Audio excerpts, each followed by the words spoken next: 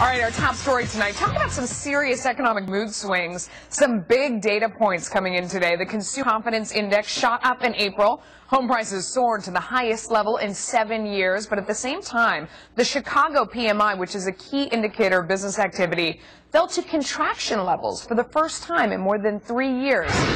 So what should you believe?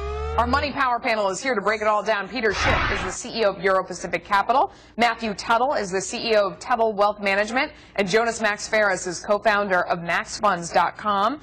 Thanks to all of you for joining us. Peter, let me start with you. That consumer confidence number, very positive. Does it make you feel good? Well, sometimes confidence is not a good thing. You know, if you're skating on thin ice, but you're confident that it's thick, you can get into a lot of trouble. I think rising home prices are creating the false impression that things are getting better, but actually rising home prices is more of the problem. I think the PMI was more indicative of what's really going on. In fact, I think the real economic situation is a lot worse uh, than even the PMI would suggest. Peter, I feel like I knew you were going to say that. Matthew, do you think that those rising home prices are, are, are a sign of something bad? Bad as opposed to something good?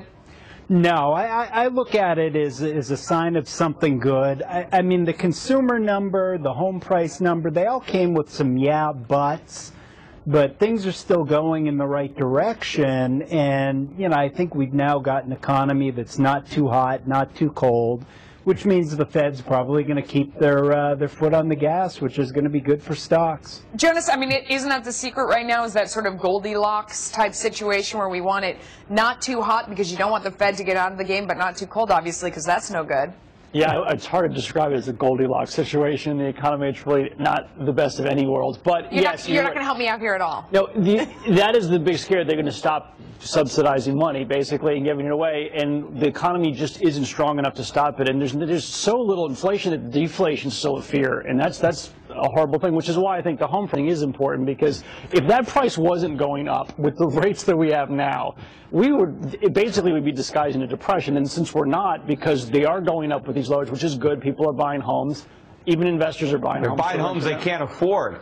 Well, with money. really not, look, you know, that's- Jonas, that's the problem. It's the only reason that real estate prices are rising is because people are taking advantage of low rates. There's a lot of speculators now buying. There's a lot of private equity money uh, that's trying to flip single-family homes. I mean, this is how we got into trouble. Eventually, Peter, rates Peter. are going to go up. Look at the dollar index today; hit a 10-week low. I, I Uh, if know- that dollar really starts to come under second. Don't pressure, that's you're going right to put a lot of pressure on the Fed. because if you look at the people that are in there in the housing market, it is still very difficult to get a loan unless you put a significant amount down. When you talk about No, private equity, not. yeah, it is. I mean, if you go out, it, I, No, I mean, unless not. you're getting an FHA loan, Peter, you're getting three percent. That's I'm that's a telling you, small part of the someone who's market. Trying to buy as an investor in real estate, all the bids are getting bought by all cash buyers. So it's not like this mortgage-fueled, debt-laden market anymore. These are Oh, cash no. buyers. Those all are- cash buyers are borrowing money. These are private equity funds that are paying all cash. So Believe me, they are that, levered Peter? up too. You What- don't see wrong it in the that? transaction. It's behind the scenes. But but that's I mean and that's they're getting you the see cheap money from the Fed. But you're acting like they're buying an overvalued asset that's like up 300% in the last three years, like in Miami or Vegas. These homes are still down 40. When you adjust for the interest rates, they're down 50% nationally. But even in some markets, so it's not. It's cheaper than renting in many cases. And if you factor But in any kind of inflation, now, which when I think you interest are, rates go up, it's a whole new ball game. You know, and it, we still have a lot of people who are I think we've got some room to There's go lots before of that empty houses that no one's up living with in. There's a inflation backup and in won't the the- foreclosures. Hang on, guys. We got to go one at a time, and let me let. Ma- I, I love the I love the argument, but let me let Matthew back in there for a second. What do you think of this dispute? Which side do you come down on? Well, I, I, I come down on the side that, you know, in the future, who knows what, what's going to happen with this. But for right now, this is good. For right now, the consumer is, is making money on their house. The consumer's got confidence. They're making money in their 401k. And it argues that we should be buying stocks, but you've got to be tactical Just like with it. 2004, just like 2005, Sure, all but over it- again. but Isn't as that long- great? Right? but We're as long ourselves as up you're- for a bigger Hey, disaster. Peter, Peter, As let me ask you're you. private, tactical, hang on one then second. you should be fine. Peter, let me ask you. Private equity is coming back into the market with all cash in order to buy homes. In a lot of cases, they're buying them to rent them out.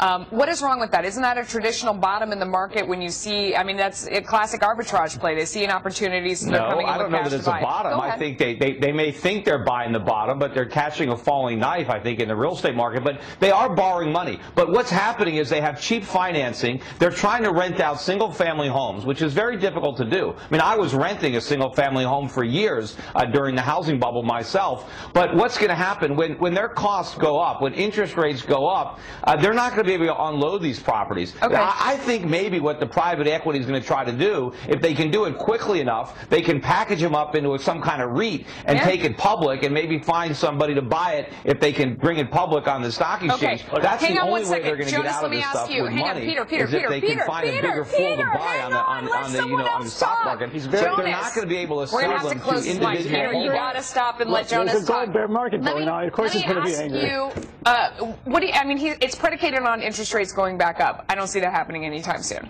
It's not happening soon, and if it happened, it's only going to happen because of inflation, right? Which would inflate rents and home prices. So you're, you're kind of, that's why they're doing it. It's a hedge investment. Your home ownership rates right Right. now are like It's 19. gonna let me- inflate Hang food, on, let him uh, finish. I Energy. totally believe in bubbles when everyone's enthusiastic and confidence is too high. But when you got home ownership levels at 1995 levels, it's fallen several percent. There's not a boom. There's not a bubble by the consumer borrowing money with no money down ninja loans. You're talking about cash buyers, sophisticated investors. Okay. That is not. We're going to leave it there, guys. That's it for everybody. Thanks to all of you for joining us. That was really spirited, and it's over. Thank you.